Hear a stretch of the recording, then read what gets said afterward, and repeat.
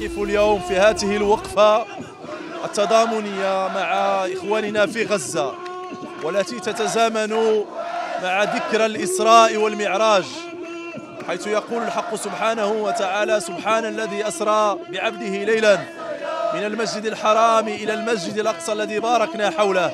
تتزامن ذكرى الإسراء والمعراج في هذه السنة مع العدوان الهمجي الغاشم على إخواننا في غزة.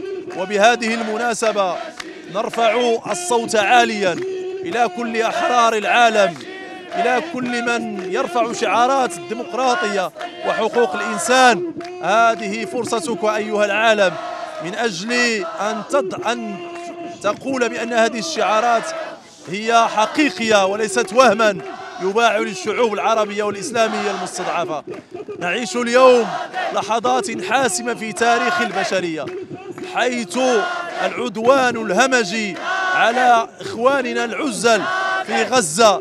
اليوم وفي ذكرى الإسراء والمعراج تنتهك حرمات المؤمنين في غزة في أكناف بيت المقدس في مصر رسول الله صلى الله عليه وسلم. وهي مناسبة كذلك لنذكر ولنطالب من يحكم هذا البلد أن هذه فرصة النظام السياسي المغربي من أجل مسح عار التطبيع من أجل مسح اتفاقية وفسخ اتفاقية التطبيع اليوم الشباب المغربي كيقول الكلمة ديالو آه، تضامن مع الإخوان والأخوات في غزة المباركة. تحت هذه الأمطار ديال الخير اليوم الشباب المغربي كيأكد مرة أخرى أنه ما زال يبدع ما زال آه، يساند الشعب الفلسطيني والإخوان في غزة وفي قضيتهم وفي مصيرهم آه، ويندد بكل أشكال.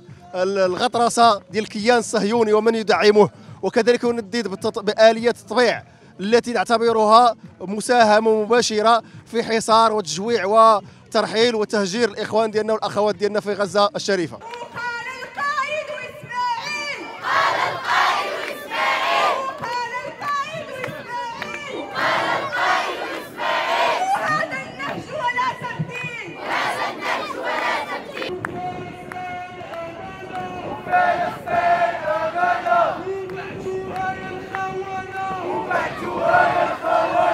جئنا اليوم كشباب مغاربة.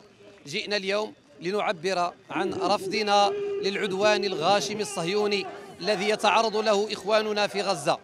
اليوم ونحن نعيش نفحات ذكرى الإسراء والمعراج. نعيش أزمة كبرى يعيشها إخواتنا في فلسطين.